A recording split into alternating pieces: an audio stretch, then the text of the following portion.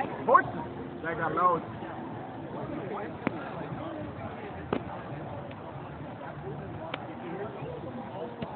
Some absinthe?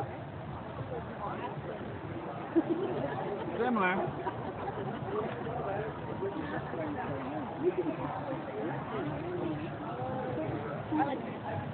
That's stuff. Actually, no, the sugar really more for show.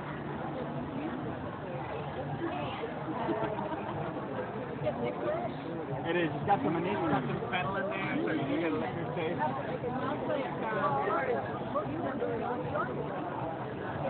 Sambuca, yeah, not as syrupy. Uh, Sambuca has a lot of sugar, like a glycerin in it, to give it that sort of thickness.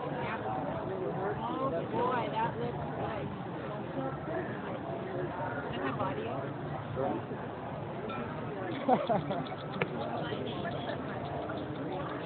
Hi, I'm.